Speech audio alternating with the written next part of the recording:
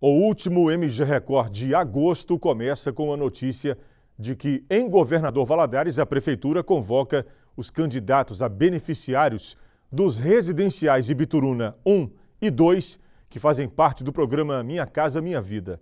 O chamado está publicado no Diário Oficial do município desde segunda-feira, dia 29. É necessária a apresentação dos documentos originais legíveis e cópias. Espelho do NIS, documento de identidade, CPF, comprovante de estado civil, casados, certidão de casamento, os dois deverão comparecer para confeccionar o dossiê. Caso se for solteiros, devem apresentar a certidão de nascimento, casais em união estável, certidão de estado civil e ambos devem comparecer.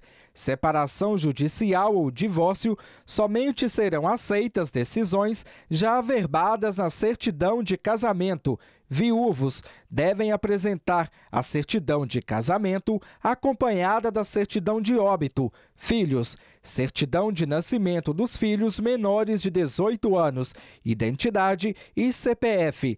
Contra-cheque para todos da família que tem renda comprovada declaração do recebimento da aposentadoria. Se aposentado, pega-se no INSS. Declaração de recebimento de benefício de prestação continuada. Comprovante de endereço com CEP atualizado. Laudo médico para portadores de deficiência.